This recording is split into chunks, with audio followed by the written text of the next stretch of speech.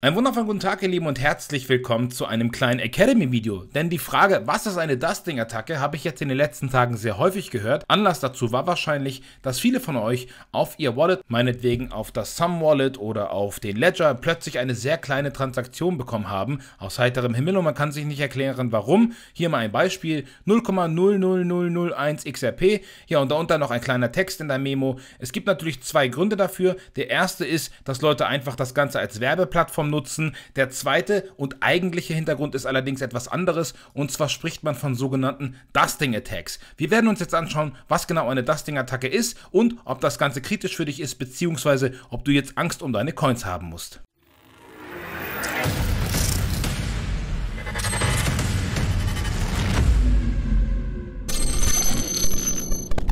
Ja, liebe Freunde, Dusting-Attacken gibt es schon viele, viele, viele Jahre und dementsprechend werden wahrscheinlich viele von euch irgendwo auf ihrem Ledger bei irgendeinem eurer Projekte sicherlich mal eine solche Transaktion finden. Jetzt ist die Frage, muss ich mir Sorgen machen? Können Angreifer eventuell irgendwie darauf zugreifen? Wir werden uns das Ganze jetzt mal genau anschauen. Zunächst einmal die Frage, was ist eine Dusting-Attacke überhaupt? Und der Artikel von Being Crypto bringt es hier hervorragend auf den Punkt. Bei einem Dusting-Angriff sendet ein Angreifer eine winzige Menge an Kryptowährungen, an Bitcoin oder andere Kryptowallets. Bei dem Angriff wird nicht nicht versucht, die Gelder auf irgendeine Weise zu stehlen. Vielmehr konzentriert sich der Angreifer darauf, die Transaktion zu nutzen, um die Person oder Gruppe hinter diesen Wallets zu identifizieren. Es wird versucht, Nutzer zu de-anonymisieren und ihre Privatsphäre zu verletzen. Der Name Dust, also zu Englisch Staub, kommt von den kleinen Mengen an Kryptowährungen, die wie Staub über die Blockchain-Netzwerke verstreut sind.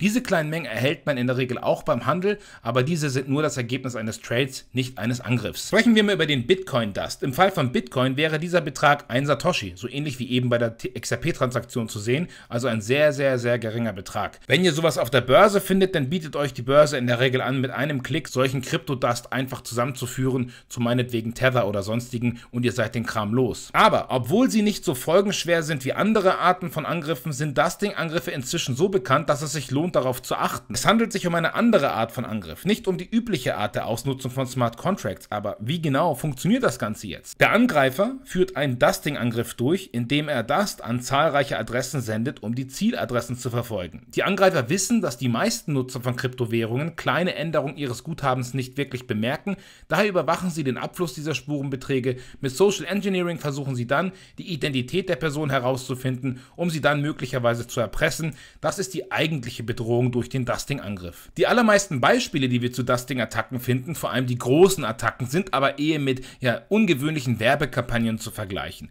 Also wir sehen hier zum Beispiel 2019 gab es sowas mal im Litecoin-Netzwerk. Da war es aber so, dass ein Litecoin-Mining-Pool eigentlich nur für sich geworben hat.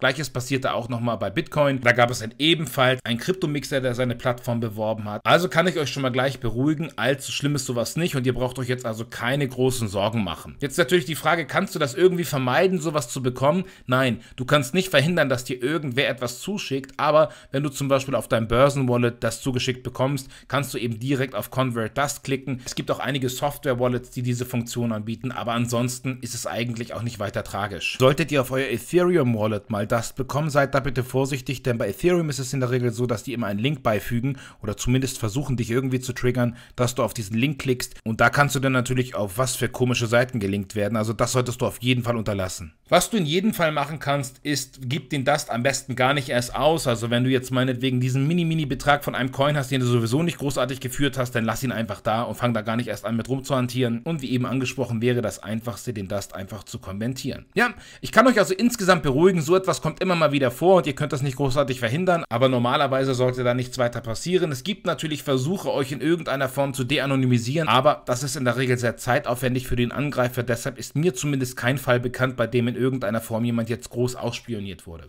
Habt ihr andere Erfahrungen, dann schreibt sie doch sehr, sehr gerne hier unten in die Kommentare. Ansonsten hoffe ich euch kurz die Augen geöffnet zu haben, was es mit diesen Dusting-Attacken auf sich hat und ihr versteht so ein bisschen die Mechanik dahinter. Ja, wenn ihr nichts mehr verpassen wollt und auch newstechnisch immer auf dem neuesten Stand bleiben wollt, dann abonniert doch sehr gerne den Kanal und ansonsten bleibt mir gesund, ihr Lieben, und bis bald. Ciao!